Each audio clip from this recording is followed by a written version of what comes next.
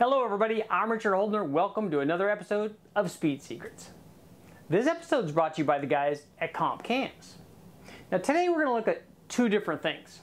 First of all, choosing the right camshaft for a small block stroker Ford. Then, once we get that baby up and running, we're going to hit it with a little nitrous.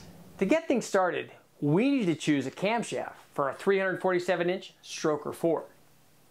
So what makes a stroker cam different? Well, there are two things.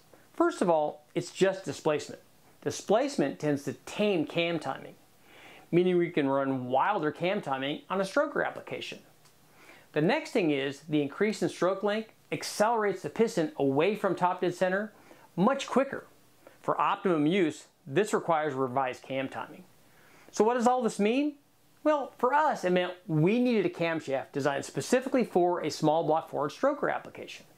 Lucky for us, Comp Cams had just that. Now we selected the smaller of the two cams, the XFI 236 HR14. But Comp also offers a larger grind for 392, 408, and 427 strokers.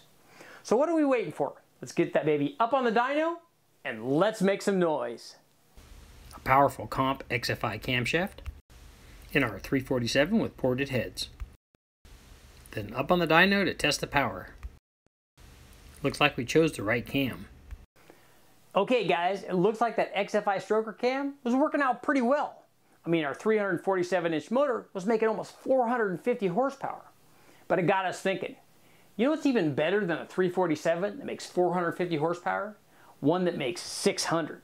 To bridge that gap, we installed some Zex. Time for the Zex kit.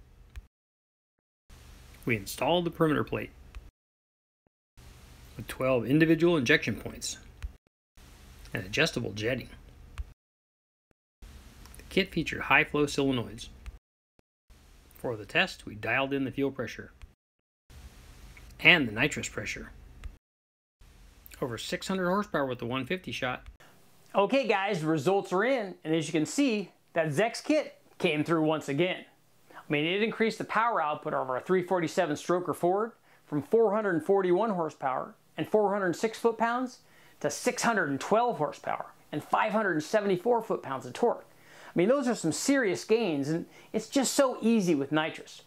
So if you're looking for a solid stroker combination, choose the right cam and hit it with some Zex. I'm Richard Holdener. That's all the time I have. I want to thank the guys at Comp Cams and the guys at Zex. Join me next time on Speed Secrets.